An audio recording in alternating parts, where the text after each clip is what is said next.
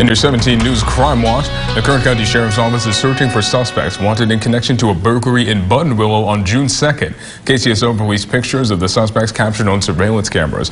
KCSO says the suspects stole numerous tools and farming equipment in the burglary and were driving a 1990s Dodge Ram. The Sheriff's Office says if you have any information regarding those suspects, call the Sheriff's Office at 861 3110 or the secret witness line. That number is 322 4040.